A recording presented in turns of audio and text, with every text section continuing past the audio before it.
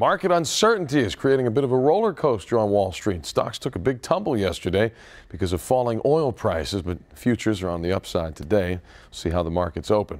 Apple's latest software update is leaving users frustrated because their phones failed to work after the update. All right, this is the top of our Click to Vote poll question. Have you downloaded the new iOS software update? Maribel joining us live from New York. What's the deal?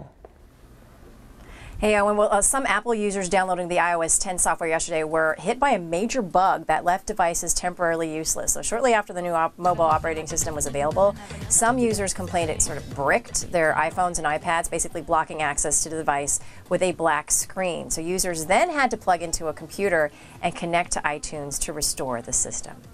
SpaceX plans to return to space by November, according to CNN Money. That would be the first or just three months after one of its rockets was destroyed in an explosion. The September 1st blast occurred while the rocket was fueling in order to test its engines. SpaceX CEO Elon Musk said the explosion was the most difficult failure in the company's 14 year history. Oh, and going back to Apple real quick.